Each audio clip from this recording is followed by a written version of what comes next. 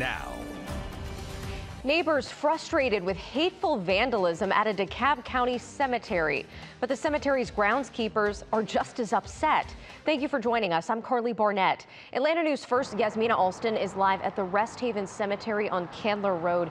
Yasmina, they say the hate-filled vandalism has actually been going on for quite some time now.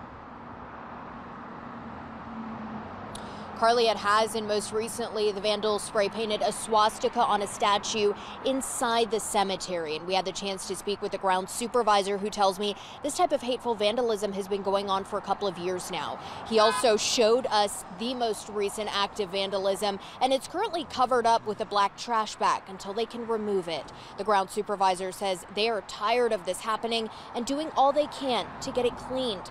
He calls it ignorant and disrespectful to those who come to see their loved ones at the cemetery. He also tells me it is unfortunately costly for them to clean up and very hard to explain to those visiting the cemetery why it keeps happening.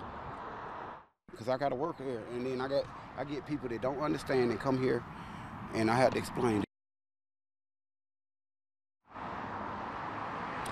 And the ground supervisor says they've reported the vandalism to authorities. DeKalb County Police tell us they don't have any reports for this year, and we've also contacted federal authorities for more information.